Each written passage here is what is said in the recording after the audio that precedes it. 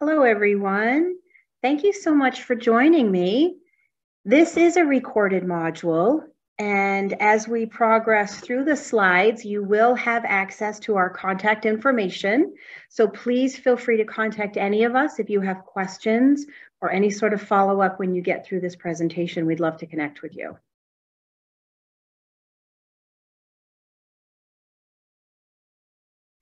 So hopefully you're here to learn more about writing compliant and measurable goals, specifically avoiding outcome goals. That's what this, this focus is going to be.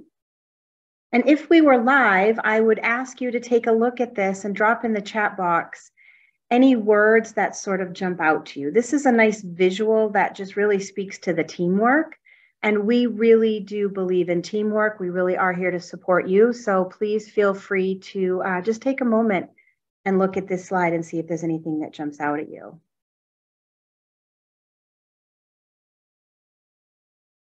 And this is our team. My name is Colette Sullivan. I am the Federal Programs Coordinator, and I am so lucky that I get to work with Leora, Jennifer, Carly, and Julie. And as I mentioned, here's our contact information. So when you get through this presentation, please feel free to reach out to any of us if there's anything that we can clarify for you. As part of all of our professional development opportunities, we like to share a link to our procedural manual. The procedural manual is a fantastic resource that was developed by the IEP committee, and it goes into a lot of really great and helpful detail about compliant IEP development. We also like to share a link to the Maine Unified Special Education Regulations or MUSER. That is where all of the regulations come from, and we pull a lot of our PD from here as well. So we like to provide you with this in case you want to dig a little deeper. All right, avoiding outcome-based goals. That's what this focus will be today. And we think about outcomes as those age appropriate expectations, those expectations that we have for all students. What are the things that we expect and want all students to master? So, when you as a team, as a member of your team, are considering this, we would ask you to really think about skill deficits. Okay. So again, outcomes are those age appropriate expectations. So think about why can't the student reach those expectations and work with your team and really review evaluations, any data that you may have, observations, or other relevant information that might help you figure this piece out. Those skills are really important because those are the things that will facilitate, hopefully, a change in an outcome and move the student closer to that piece. I mentioned the procedural manual as being a very useful uh, tool. And on page 26 of our procedural manual, you will see a lot more information about this topic. All right, so think about it like this. Under academic, we have these broad headers, right? We've got reading, writing, listening, speaking, and mathematical problem solving. Those are those broad components that all of your academic programming will fall under. But if we have a student who is struggling with reading, for example, we would not write a goal that says student will improve reading, right? Because we know that to be far too broad. It's just too large. It encompasses too many skills. So, what we would want to look for are those distinctly measurable and persistent gaps that are interfering with that child's ability to be on grade level with reading. And we've included some examples here. Now, again, if we were live, I would ask you to look at this and tell me if we missed any, because I know that we have. This is not intended to encompass every skill. It's just intended to give you some examples. So under reading, the skill deficits for a student who cannot read on grade level might be decoding, encoding, fluency, comprehension, sight words, phonemic awareness, vocabulary, or as I mentioned, several others, right? And we look at that in the same way as we would, you know, for writing, listening, speaking, and mathematical problem solving. So you're going to really focus on the skills. And functional is the same way. We have the broad headings, we have the cognitive, communicative, motor, adaptive, social emotional, and sensory. And then, as we did with academic, we've broken down and given you some examples that might fall under each, again, knowing that there are many others. So, if I were to look at adaptive, for example, the distinctly measurable and persistent skill gaps that I might see under adaptive could be toileting, hand washing, cooking, eating, dressing, or many others. So, what are the outcomes? What are the skill deficits that interfere with that child's ability to get there? And if we focus on that, what are we going to teach them? So think again, if you know what the outcome is, that age appropriate expectation, dig into those skill deficits, right? Because those are what you are going to teach the student that will facilitate an improvement in that age appropriate expectation.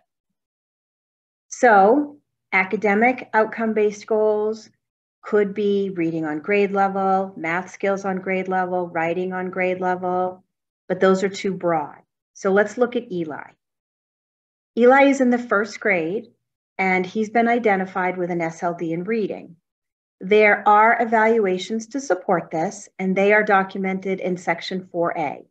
His IEP team also identified the following skill deficits and a how statement in section 4C, which looks like this. So, based on that information, we note that Eli has skill deficits in fluent letter identification, and that those skill gaps will absolutely impact his ability to participate in liter- literacy activities with his same age peers, right?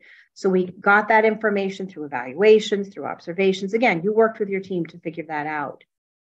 So, because he has this very specific skill deficit, he's unable to reach that age appropriate expectation of reading at the first grade level. So, we're going to write a goal not around reaching the grade the age appropriate expectation of reading, but we're going to write the goal around letter ID. So, we have our present level. We know that Eli can expressively identify 17 of the 26 alphabet letters. So to align to that present level, we've written this goal. By 12-5, 2023, given SDI, Eli will expressively ID all 26 letters in the alphabet as measured by data collection and teacher observation. So this skill, teaching this skill to Eli, will facilitate improvement in his ability to read on grade level. So there's the outcome and we're going to teach him letter ID. If we have a student who is not reading on grade level, again, think about those examples. Maybe we focus on fluency. Maybe it's spelling that's impacting their ability. Maybe it's phonemic awareness. Think back to that previous slide that broke out several of those examples because you might need to focus on more than just letter ID for Eli. Let's think functional. I think that functional can be a little trickier than the academic piece. And when we review IEPs across the state, we do see this. We see that people have a harder time with the functional piece than the academic piece. So, some examples of what we frequently see as outcome goals in the functional section would be increased attendance, increased work completion, decreased aggressions or biting, bolting, etc., increased safety or increased attention to task. We see these quite a bit. So let's take a look at Jane. So Jane is in the third grade and she's been identified with an OHI due to ADD.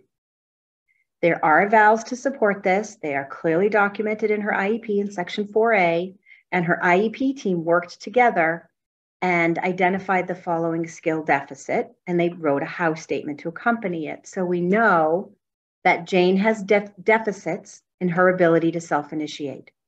And because of those deficits, her ability to maintain attention and complete assigned tasks is impacted.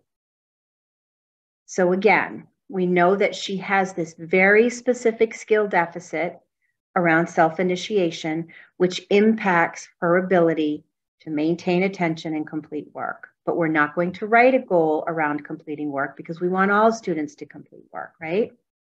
So we have our present level. Jane is demonstrating self initiation skill deficits and can start work tasks within 12 minutes. Okay. So we're going to align that to the goal that immediately follows it. And we want Jane to demonstrate increased self initiation skills by starting work tasks within five minutes with less than two adult prompts and 80% of opportunities.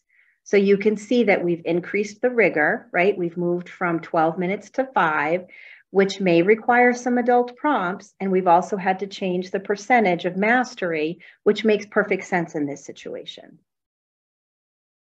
But again, we want Jane to complete work commensurate to her peers. So we are going to teach her self initiation, which the team identified is a skill deficit in this case. Let's look at Nina. She's in first grade and has been identified with autism. Again, she's got evals, and her team identified that she has deficits in her ability to request help which will impact her ability to engage socially with peers in ways that are not aggressive. Okay. So as as previously, she's been unable to reach this expectation of a day without aggressions. So we're going to write a goal around requesting help. So our present level looks like this. When prompted by an adult, Nina can pick up a help card, reach, and release to a communicative partner in 100% of opportunities.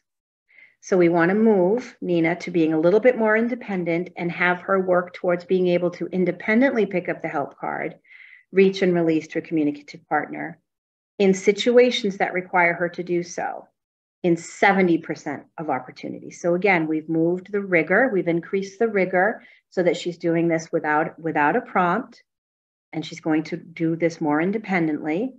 Um, and we are going to teach her to do this and expect this to happen in independent in situations where she would naturally need help. There's her outcome. Nina is aggressive, right? We want her to be less aggressive. So we're going to teach her to request help. And Louis, fourth grade, identified with emotional disturbance.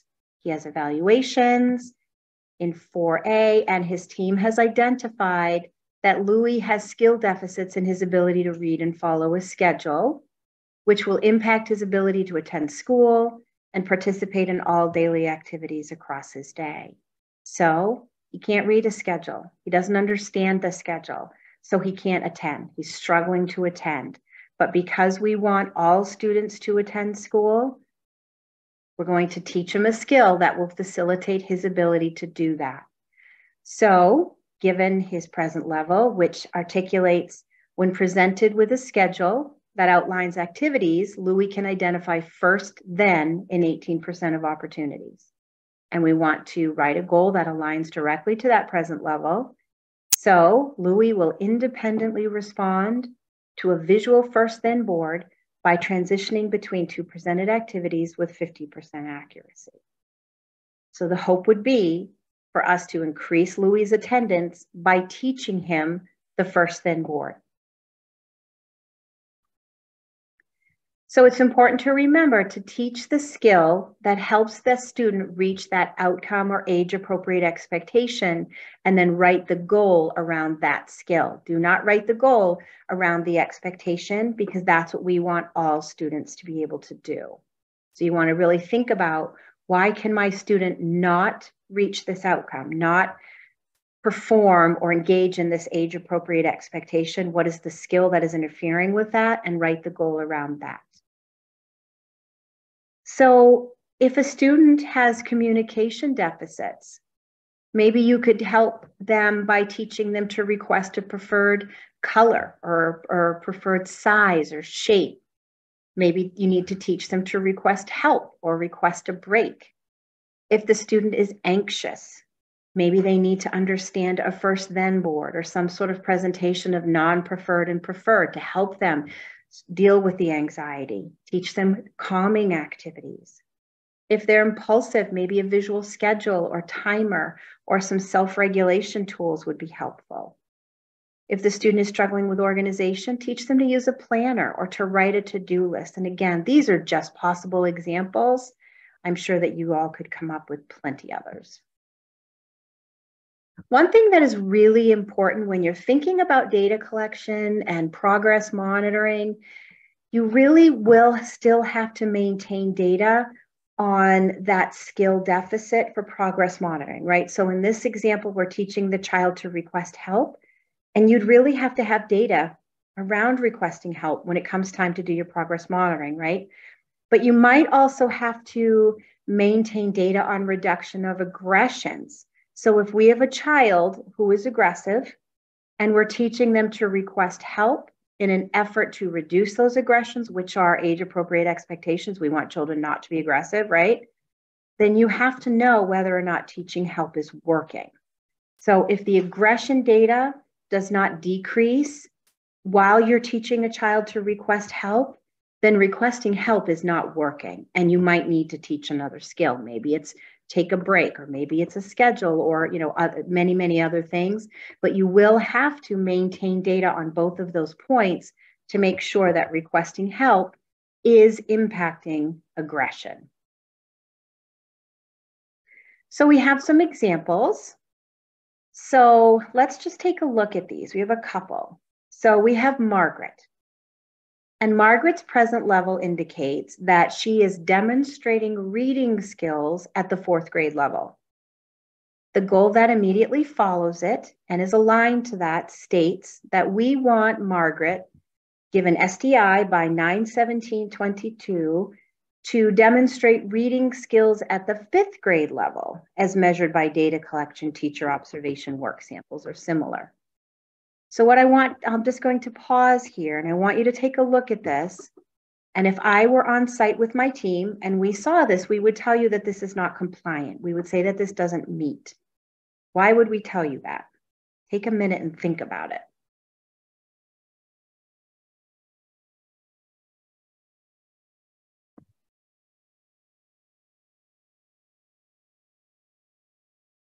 So the reason that this would not be compliant is that Margaret is in fifth grade. This is an age appropriate expectation for her, right? We want all fifth graders to read at the fifth grade level. That's what we want. And her present level is much too broad. The goal is not measurable because it's too broad, and there, there is no identification here of any specific skill deficits. So think back to Eli, right? Eli wasn't reading on grade level.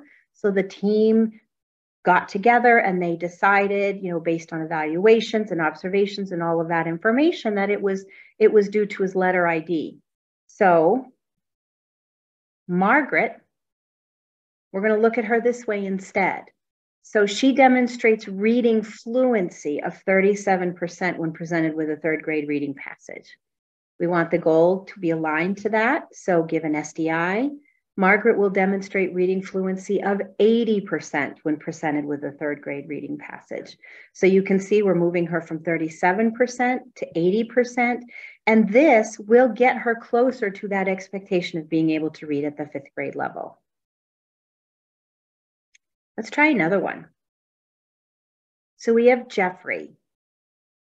And Jeffrey's present level articulates that he demonstrates aggressive behavior 64% of his day. The goal that follows it says that Jeffrey will reduce aggressive behaviors to 15% of his day. So, if we came on site, why would this not meet compliance? Take a second and just look at it and think about why this might not meet.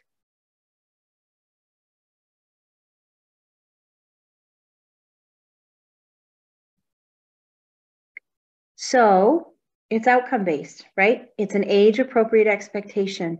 We want all kids to come to school and be free from aggression. We would need to dig deeper and figure out what's the skill deficit for Jeffrey? Why is he aggressive? What is the skill that he is lacking that results in aggressive behaviors? So perhaps we need to teach Jeffrey to take a break. So if that were the case, when presented with situations that require Jeffrey to take a break before becoming aggressive, he will exchange the break card with a partner with 19% accuracy. That's his current present level of functioning. So we write a goal that aligns with that. When presented with situations that require him to take a break, he will independently exchange the break card with a partner with 50% accuracy as measured by teacher observation, data collection, and reduced aggressions. So this would be an example here where we are writing the goal around Jeffrey's ability to take a break, and we are going to maintain data on his ability to do that because we want to make sure he can get to 50% and use that information in progress monitoring. But you are also going to maintain data around reduced aggressions because you want to make sure that Jeffrey's learning to take a break results in decreased or reduced aggressions. It's really, really important to also remember that if you are providing and teaching supports to students that are help, helping them to be successful, you want to really make sure that those tools are included in section six of the IEP. Because if your student goes out into the building with an ed tech or without an ed tech, and there's another teacher and they're trying to exchange a help card with that regular ed teacher, or they're in the lunchroom and they're requesting a break and they're trying to give the break card to somebody, you want those people to know what that student is doing, right? If a break card is something that helps the student to be successful and helps them to be able to take a break versus bolting or aggressions or something else, you want to honor that. And you want the people who are around the student to know why it's important for them to honor it as well. And it's Documenting it on the IEP is the way that you would do that. So we get this question a lot around related services and outcomes versus skill. And when you think about, for example, communication, we want all students to have appropriate communication skills. But if we have a student who doesn't, we're going to teach them, perhaps it's articulation, expressive language, receptive language, all of those will re re result in improved communication. So remember, you would not want to write goals around outcomes or age appropriate expectations because that's what all students should be able to do. Instead, you're going to use your team, you're going to use your data collection, and you're going to work to identify the skills that the student is missing that need to be taught to facilitate a change in that identified outcome. Those are those skill deficits. Oh, we already talked about this. This is a repeat slide. So again, thank you so much for joining me. We are very invested in receiving feedback from those of you who join us from the field. So if you would, please take a few minutes to give us some feedback. There is a QR code here on the slide. You can take a picture of that with your phone, which will link you directly to the document or there is a link, whichever is easiest. And when you access the, the information, it's just a couple of questions. And we just would like to know whether, you know, how this, this PD worked for you and feel free to just answer those questions. And it will also give you the opportunity if you want contact hours for the time that you spent watching this, you can put in your email address and you will receive a contact hour make sure when you put in your email address, just double check the spelling because that's the only way we will have to get back in touch with you.